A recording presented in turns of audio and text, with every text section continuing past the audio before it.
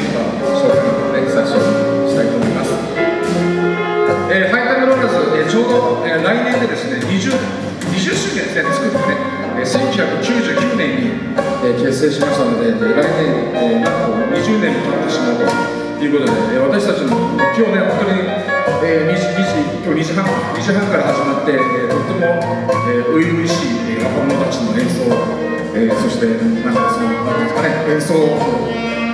初々しい演奏姿勢ですかね、こうたんまりとあのご覧いただきましたけど、まあ、大体あの20代の頃、私たちもですね30代の、30人ぐらい前ですけど、あのくらい嬉しかったかどうかちょっと分かんないですが、えー昔が初々しかったんですが、まあ、大体30年経つとこうなりました。ということで、メンバーを紹介していきたいと思いますが、えークラリネットです。クラリネット、今日はテナサックス持ってるんですけど、えークラリネット、タ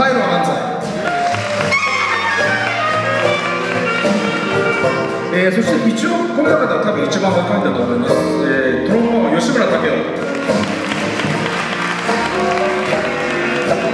はいそして、えーピアノです。ピアノ、えー神山実。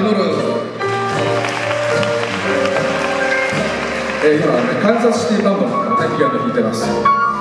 えーそしてバンチョンとギターはゴミドリフ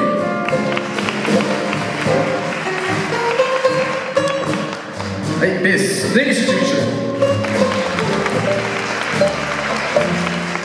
はい、えードラムスは、はい一応一番年上でございます。えー、ケイリスダキ、ドラムス。えー、トランペットの佐々木太郎と申します。よろしくお願いします。えー、今日はね、学生さんたち、それぞれ、あの、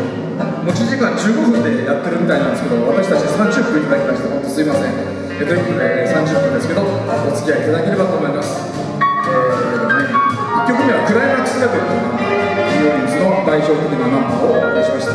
で、この今やってる音楽、これはブルースなんですけども、えーちょっと最後にティンルーフブルースって曲に持っていきたいと思ってますが、えー、と